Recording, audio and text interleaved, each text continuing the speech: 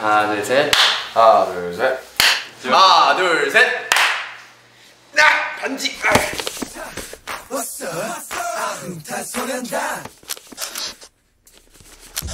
네 안녕하세요 구호실 지민입니다. 네 안녕하세요 고고실 비입니다. 어 다른 유닛보다 괜찮은 점. 다른 유닛 동갑이 없죠. 아 그러네 다른 유닛은 동갑이 없네요. 네. 그리고 우리 같이 뭔가 자유롭다는 느낌을 뭔가 받기 힘드실 것 같은데요. 항상 즐거워 보이고 맑죠. 맑고 깨끗해.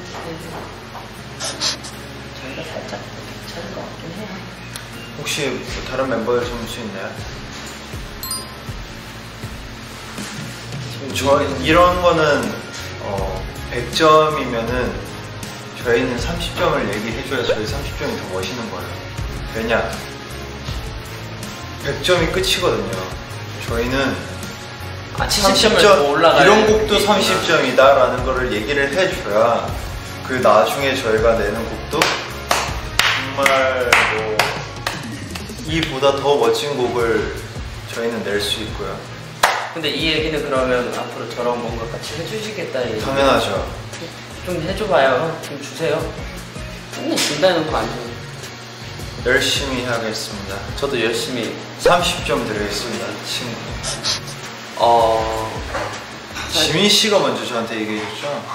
아 이게 이제 사실 제 곡이 앨범에 들어가게 될지도 몰랐고 그렇게 이제 피디님과 상의 끝에 이런 뭔가 뭐 되게 귀엽고 이런 노래가 나왔기 때문에 태영 씨와 저와의 이런 뭔가 옛날부터 지금까지 이런 이야기를 담은 노래가 하나도 없었기에 어. 같이 해보는 게 어떤가 이런 얘기가 나오게 돼서 같이 하게 됐는데 네. 태영 씨가 너무 재밌고 멋있게 잘 불러주셨잖아요. 그 조합이 되게 신, 뭔가 어떻게 보면 되게 뻔할 수도 있는데 친구끼리 하는 거라서 그 이야기 주제가 저는 되게 신박하고 되게 좋았었던 것 같아요. 저는 태영 씨랑 앞으로도 뭐 여러 가지 많이 해보고 싶어서 좀 만들어 주시죠. 그리고 화장인데 자꾸 그렇게 거 아니지. 네, 그 개인적으로는 이제 지민 씨랑 맨 처음에 할 때는 어, 지민이랑 하면은 약간 조금 되게 무거운 거, 되게 좀 진지한 거, 좀 춤 엄청 추는 거 이런 걸 생각을 했었는데 지민이가 만든 곡을 맨 처음에 딱 듣고 나서는 어? 뻔한 걸 안 해서 너무 좋았었던 것 같습니다. 신선해서 너무 좋았었던.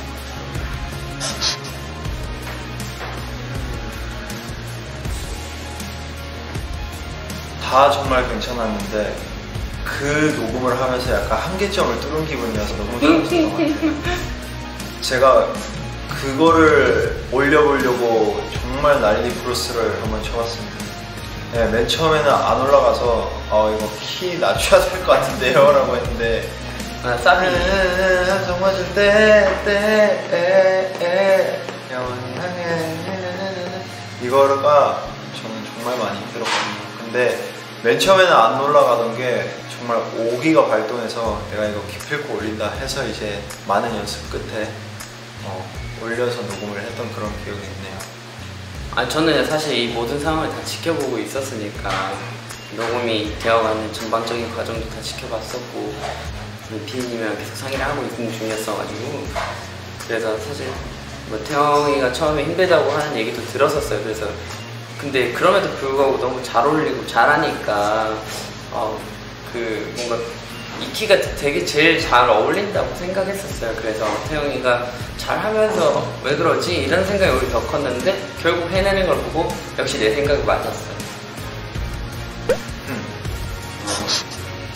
저 같은 경우는 이제 믹싱 같은 거는 부탁드리는 편이니까 제 입장에서는 이제 녹음을 하는 단계가 이제 가장 마지막 단계인데 그 내용을 이해하고 그 거기서 이제 제 목소리로 된 노래를 들었을 때 그 감정과 그 내용이 이해가 가, 가야 하는 게 가장 먼저인 것 같아요.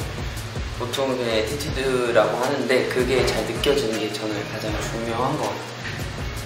저는 제가 목소리를 입혔을 때 전체적인 흐름에서 저는 이야기가 완성이 돼야 된다고 생각을 하고 느낌이나 분위기나 아니면은 조금 어색한 부분이나 있으면은 그 부분을 바로바로 수정하려는 편인 것 같아요. 뭐 3분이든 2분이든 4분이든 그냥 그 한 곡에 이야기가 다 담았으면 좋겠다는 생각.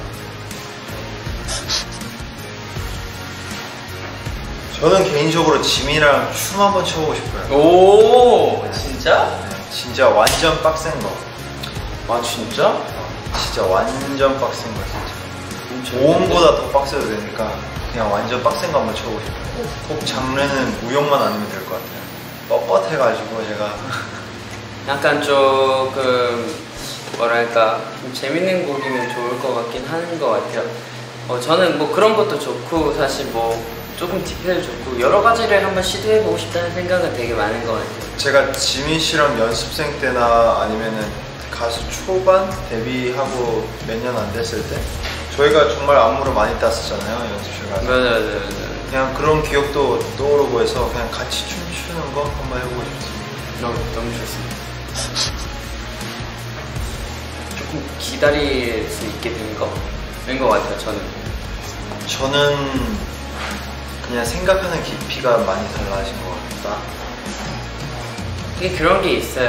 뭐 모두가 알겠지만 친구라서 더 약간 먼저 이제 내 의견을 제시하게 되고 굽히지 않게 되고 그런 면들이 있는데 이게 저 친구가 무슨 행동을 하는지 무슨 생각을 하는지 무슨 생각으로 이 얘기를 하게 됐는지 조금 기다릴 수 있게 되는 것 같아요. 조금 오래 같이 있다 보니까.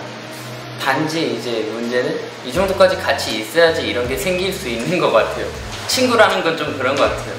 저희는 아직도 쌓아야 될 게 더 많고, 어, 배워야 될 게 더 많기 때문에 더 많이 변할 수 있을 것 같다는 생각이 들어요. 먼저 얘기해 주실래요? 전 지민 씨의 새끼손가락이 조금 더 커졌다고 생각합니다. 그렇군요. 9년 전보다. 옛날에는 정말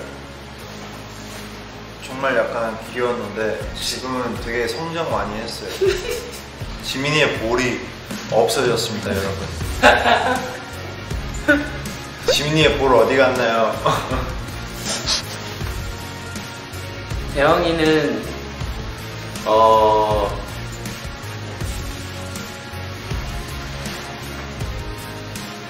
엄청 장난꾸러기였어요. 맨날 반바지 입고 다니고 빨간 반바지 기억하죠? 저 처음 만났을 때도 빨간 반바지에 빨간 스냅백이었어요. 뒷바지에 메롱 있어야죠. 그러니까 맨날 그거 입고 다니고 꼭 동네 한 명 있는 공 가지고 놀고 다니는 꼭 그 장난꾸러기들이 이 친구였던 것 같은데 코스튬이라고 하죠. 지금은 근데 그런 모습이 없어서 솔직히 조금 아쉬운 게 있어요.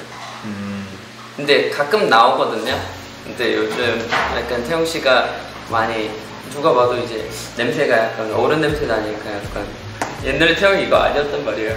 반바지 입고 이거였는데 아, 예. 제가 다시 타임머신을 언젠가 이제 누군가가 발명하게 된다면 그 모습을 또 한번 아미들에게 한번 보여드리도록 하겠습니다. 거의 다 얘기했는데 이런 거죠 뭐 밥을 먹고 연습을 할 것인가 아, 연습을 하고 맞아. 밥을 먹을 것인가 딱 이거였어요. 근데 너는 먹고. 연습하자였고 난 먹으면서 해야 아. 그러니까 연. 연습하고 밥을 먹자였고 그 이걸로 다퉜는데 결국 그냥 화해하고 끝났죠 사실 아니요, 이것 동안 우리 2주 동안 얘기 안 했었어요. 그때 제가 딱 그 드라마 촬영할 때였어요. 근데 이제 먹고 싶은 거는 먹었어야 됐나 봐요. 어렸어가지고. 그래가지고 먹으면서 하고 싶다 했는데 지금 멤버들 다 못 먹었는데 너만 먹으면 좀 그렇지 않느냐. 그러니까 연습 끝나고 먹자. 야, 나 배고프다고. 나 먹으면서 해야 돼. 이러고. 야, 별로 안 할 거 그냥 끝나고 먹어 이거였어요. 그래가지고 예민해져서 저희가 아 그때 저희도 좀 예민했었어요. 멤버들 전체 다. 다른 사람도 예민하니까 나가서 사! 해가지고 예. 아그 대답도 안 했어요. 맞아 대답 나가고 나가고, 나가고 똑같은 얘기 반복하다가 야 다시 내려와 내려갔다가 동그랗게 앉아서 얘기하다가 결국 저하고 슈가형 나갔죠 술 마시러 예. 나하고 그리고 제가 취해서 우리 그때 기억나요? 그 뒤에 공원에서 둘이 다시 만나가지고 얘기, 얘기하다가 제가 막, 막 취해가지고 태영아 이거 아니다. 어 저거. 영상 아직까지 있어요. 영상 있어요? 영상. 이게 얘도 진짜 에이. 잠깐만 잠깐 에이. 잠깐만 잠깐. 네 이러면 안 돼. 저 아직까지 있습니다. 근데 영상. 진짜 웃긴 게 우리가 싸웠는데 술 먹고 기분 안 좋아져서 왔는데 네 이러면 안 된다 이러는데 그거 영상으로 찍고 있는 애가 얘요. 네 이러면 안 된다. 저 그때 마트 가봤거든요. 어저 그때 쓴 곡이 네시예요. 진짜? 어 나 그때 쓴 곡. 아. 내가 너랑 그 공원 가서 썼다고 했던 거 있잖아. 그게 아 그게 네시야? 4시. 이거 그게 새벽 그때 그때가 새벽 4시라 썼어. 4시 반인가 4시인가. 그런 behind story 만두 사건 덕분에 친구와 네시가 나오게 됐습니다. 와 이거. 어 그때 진짜 그것 때문에 저 4시 만들어졌어요. 네 이러면 안 된다 태형 한참 사투리 쓸때 네. 태영아 어그 브릿지 부분 가사가 너무 네 새끼 손가락처럼 울려내 이거 이거 있잖아 넌 변했다면서 왜 안 변했다고 그러냐 근데 진짜 어이가 없네 진짜 고영이죠. 내가 뭔, 뭔 말도 안 돼. 아는 거 다 나오지 마. 그거예요 그거. 진짜 고영. 어쨌든 그, 그 말이 너무 재밌었고 그리고 이제 내일부터 그냥 더 싸우지 말자고 하는 그런 내용들이 되게 좋았었던 것 같아요. 저는 우리 교복 차림이 기억나. 그 부분이요. 저는 이제 우리 시작하는 둘이 교복 입은 모습들이 저는 아직도 기억이 생생하게 남아가지고 그때는 같은 가족이 학교 같이 등교하는 기분 집에서 계속 학교에 갔는데 그 숙소에서 네. 학교 간다는 게 약간 되게 많이 저한테는 좀 많이 진짜 웃겼어요. 아침마다 맨날 태양 일어나라. 태양 일어나라. 태양 일어나라. 그 결국 나 혼자 씻어요. 그리고 다시 깨워요. 태양 일어나라 가야 된다. 그래가지고 결국 아막 아, 열받아서 막 서로 그리고 우리 어떤 날 일찍 일어난 날은 밥 식당 가서 먹고 왔어요. 식당 가서 먹고 왔어. 밥, 밥 먹고 출발하면 이제 하- 숙소에서 기분이 깨운다고 안 좋아했던 게 그런 거 없어지고 버스 타고 또 이렇게 가요. 그리고 버스 타고 가잖아요. 같이 집에 와요. 같이 집에 오면은 또- 무조건 또- 맛 하나 들려서 김자반 하나 맞아 맞아. 거기서 김자반 사서 김자반 사서 집에 와서 그 먹거나, 햇반 어. 햇반 그거 아니면 아니다, 아니다. 밥솥 가서 거. 먹거나 밥솥도 우리 누가 밥 해가지고 밥은 잘했어. 어, 그래가지고 그걸로 밥 해서 먹고 뭐 맨날 말하는데요 뭐 고생 많았습니다. 앞으로 잘 부탁드립니다. 네, 제가 고생 좀 했죠 잘 부탁드립니다. 저희의 그런 인터뷰나 대화가 아미분들이 상상을 좀 뛰어넘으셨을 것 같은데. 저 이게 어떻게 편집이 될지 모르겠는데. 그래도 저희는 정말 솔직한 저희의 이야기를 전해드리려고 이렇게 네 그랬습니다.